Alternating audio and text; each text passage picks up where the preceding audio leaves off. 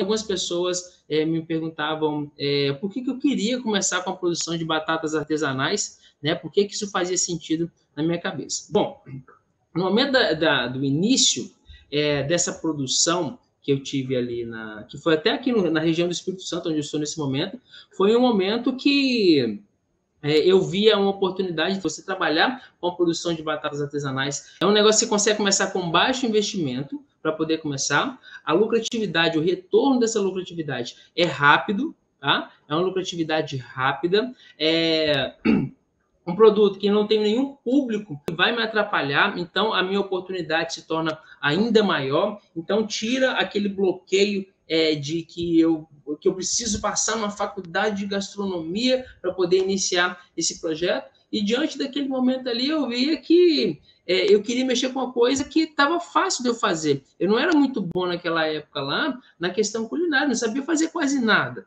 Né? A gente tá bem que a gente está falando de muito tempo atrás, mas é, eu não sabia fazer quase nada. E naquele momento ali, eu observei que era uma coisa simples, que independente de como era simples trabalhar com as batatas, eu observava que todos os clientes que olhavam para a ideia gostavam, todo mundo que via a oportunidade ali queria comprar batata, era criança, era adulto, era jovem, era idoso, era gente grande, era gente pequena, era quem tinha dinheiro, quem não tinha. Então eu comecei a observar que todo mundo gostava de batata na região, independente se ela estava boa ou ruim.